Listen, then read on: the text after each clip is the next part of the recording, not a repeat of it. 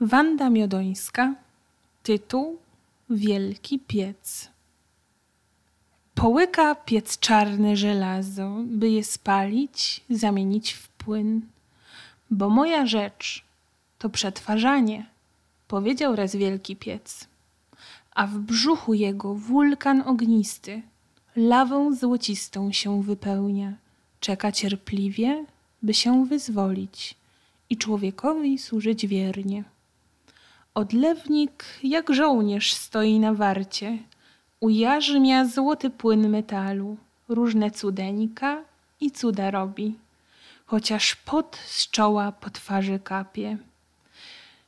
I wzdycha smutno nad swą pracą, zmęczony, zgrzany i utrudzony. A kiedy wyjdzie już po pracy, góry beskidzkie się kłaniają. Za trud za ciężką pracę. Beskidzkie góry, lasy, pola ślą świeży powiew i szacunek spracowanemu odlewnikowi.